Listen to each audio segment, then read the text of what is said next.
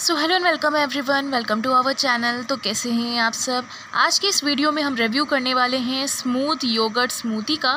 तो आज की इस वीडियो को आप सभी लोग लास्ट तक देखिएगा। वीडियो पसंद आती हो तो इस वीडियो को लाइक शेयर सब्सक्राइब ज़रूर करिएगा। तो दोस्तों, जैसा कि आप सभी देख सकते हैं, ये जो प्रोडक्ट है, ये स्मूथ स्मूदी है, जो कि गुआवा चिली फ्लेवर में आपको ये अवेलेबल हो जाता है। बात करते हैं इस प्रोडक्ट के बारे में। तो ये जो प्रोडक्ट है, ये आपको ग्रीन कलर के पैकेजिंग में आपको अवेलेबल हो जाएगा एंड ये काफ़ी अट्रैक्टिव आपको करता है। इस प्रोडक्ट के बारे में अगर मैं आप लोगों को बताऊँ तो अगर आप इसे शेक करके अगर इस तरीके से ड्रिंक करोगे तो आपको इसका टेस्ट बढ़िया आएगा।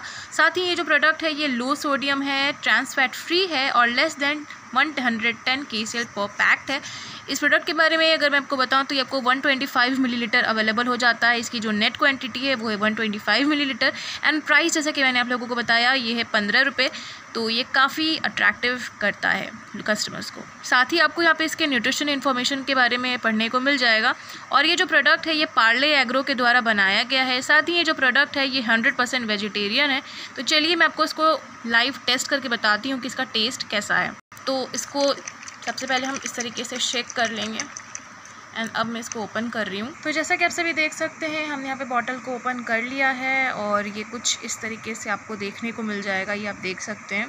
ये कुछ इस तरीके से आपको देखने को मिलेगा।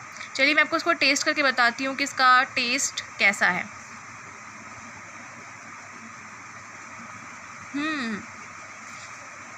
गुआवा का टेस्ट भी आ रहा है। एंड गुआवा में कभी आपने मिर्ची लगा कर खाया है? अगर खाया है तो ये बिल्कुल एग्जैक्टली exactly वैसा टेस्ट आ रहा है। एंड आई लव्ड इट तो मेरे को तो बहुत अच्छा लगा। गुआवा में चिली मिक्स करके, नमक डाल करके कैसे हम लोग बचपन में खाते थे? एकदम चटपटा लगता था। बिल्कुल वैसा वाला टेस्ट आ रहा है। And I just loved it मतलब अगर आप अगर कोई रिफ़्रेशमेंट ड्रिंक पीना चाहते हो, जो कि ज़्यादा मीठा नहीं हो एंड गोवा का आपको टेस्ट अच्छा लगता है गोवा आपको पसंद है तो आपको उसको डेफिनेटली ट्राई करना चाहिए एंड नन गुआवा लवर्स भी इसे डेफिनेटली ट्राई ज़रूर करें, क्योंकि बहुत ही ज़्यादा टेस्टी है यार, आपको गुआवा खाने पर मजबूर कर देगा। तो उम्मीद करती हूँ गाइस कि आपको ये प्रोडक्ट पसंद आया होगा। इसकी रिव्यू आपको कैसे लगी कमेंट सेक्शन में ज़रूर बताइएगा और वीडियो पसंद आई हो तो प्लीज़ इसे लाइक ज़रूर करिएगा। Thank you so much for watching this video जय हिंद वंदे मातरम